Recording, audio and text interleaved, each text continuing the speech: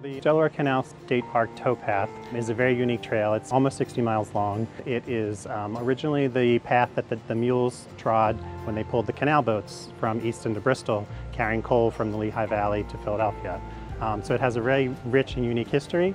Also a very beautiful trail to walk on and it runs through different terrains and it runs through 18 municipalities. So there's a unique experience on any part of the trail that you're on. So it's a multi-use trail. It's um, well suited for walking, jogging, bicycling, um, you know, any kind of activity like that.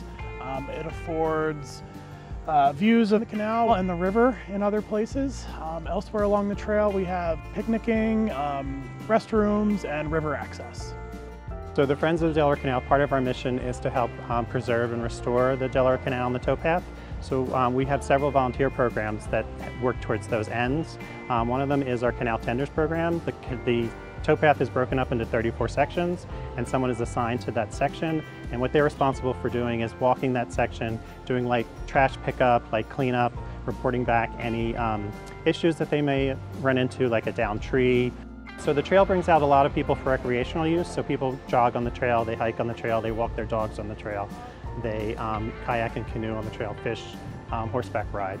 Um, but one of the benefits for um, us is what we do is we make sure that all along the way there are interpretive signs, there are places where they can, um, if they're interested, they can stop and look and learn about the history of the canal.